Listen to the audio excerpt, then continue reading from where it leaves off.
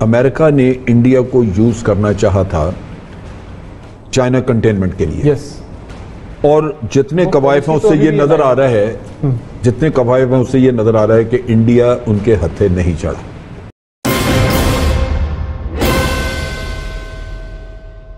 پاکستان اور بھارت بات چیت سے مسئلے کا حل نکالیں۔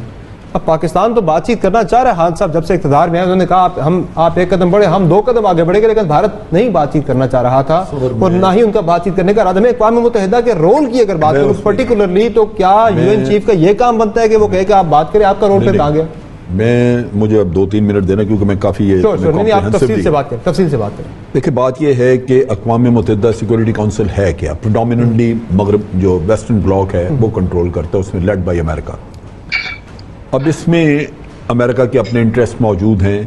ہمیں بھی یہ ذہن میں پتہ ہے کہ اقوام متحدہ ہی ایک ادارہ ہے جہاں ہمیں دروازہ کھٹکھٹانا چاہیے۔ سٹانس ہمارا یہ ہونا چاہیے کہ اب بائی لیٹرل ختم ہو گیا قصہ اس وجہ سے کہ انڈی- انڈیا نے ایک یونیلیٹرل ایکشن کر لیا۔ اب اس کے بعد ہمیں یہ مشورہ نہ دیا جائے کہ جی آپ بات کریں آپ بات کریں کیونکہ یہ اب بیکار ہے۔ ایک یونیلیٹرل ایکشن کے بعد بائی لیٹرلزم ختم۔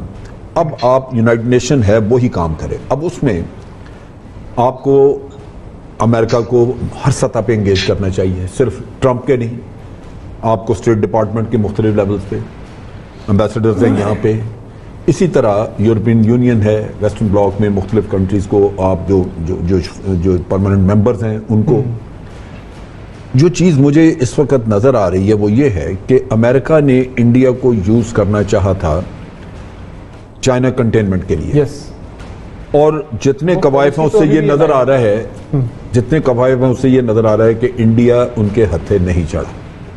کیونکہ انڈیا محسوس کرتا ہے کہ چائنا کنٹینمنٹ کا اگر کوئی فال آؤٹ ہوا تو وہ ڈائریکٹ انڈیا کو اٹھانا پڑے گا اس لیے کہ اس کے بارڈرز ساتھ ملتے ہیں۔ دوسری طرف یہ ہے کہ اگر امریکہ کے پاس اس کنٹینمنٹ کے لیے کوئی اور اگر کوئی چیز ہے تو وہ جیسے ابھی شمیم بہن کہہ رہی تھی کہ جناب وہ کشمیر میں اڈے اپنے بنائے۔ کشمیر میں بیسز بنانے کے لیے انڈیا کبھی انڈیا کی پالیسی نہیں ہے کہ وہ فورن بیسز جو ہیں وہ اپنی زمین پہ بننے دے، وہ نہیں دیں۔ لہٰذا ویسٹرن کنٹریز میں آپ دیکھیں کہ ایک انہوں نے ان کی انٹیلیجنس اداروں نے ایک چیز چلائی ہے جسے ہم کہتے ہیں انڈیپینڈنٹ کشمیر۔ چنانچہ مختلف جگہوں پہ جو آپ کے پروسیشنز نکلے ہیں یا وہاں پہ انہوں نے اجلاس وغیرہ کیے ہیں، اس میں پاکستان کے جھنڈے کو نہیں جانے دیا اندر لوگوں نے۔ اور وہ لوگ وہ ہیں جن کو کہ ان کی انٹیلیجنس کھلا پلا کے اوپر لیڈرشپ رول دے رہی ہے کہ جی آپ یہ کریں۔ انڈیپینڈنٹ کشمیر آپ- تو انڈیا کو بھی سوٹ نہیں کرتا۔ نہیں نہیں وہ ان کو کرے نہ کرے۔ ہاں۔ بات یہ ہے کہ میں انٹرنیشنل بات کر رہا ہوں کہ وہ کیا کرنا چاہ رہے ہیں۔ سوٹ ہمیں بھی نہیں کرتا۔ بات کچھ اور ہے۔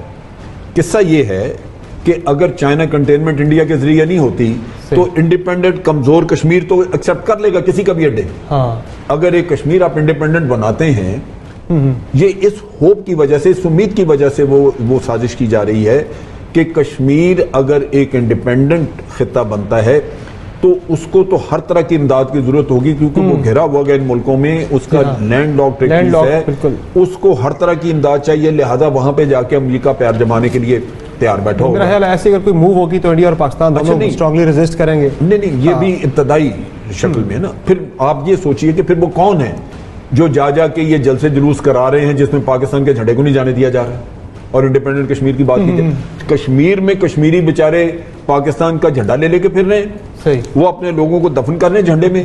اور جناب امریکہ میں اور برطانیہ میں جو جلوس نکالے جا رہے ہیں اس میں یہ ہے۔ لوگ ہر جگہ ایک یہ اچھا اب میں دوسری جو بات کرنے لگوں پاکستان کو اس وقت امریکہ کو بہت قریب سے انگیج کرنا چاہیے چھوڑنا نہیں چاہیے۔ اس کی وجہ بنیادی یہ ہے کہ حالات بدلتے دیر نہیں لگتی۔ صحیح۔ امریکہ میں انڈیا کی طرف ابھی کافی ساری مایوسی آ رہی ہے ان کے اسٹیٹ ڈپارٹمنٹ میں چیزوں میں ان کی صحیح۔ رائٹنگز میں پتہ لگ رہا ہے۔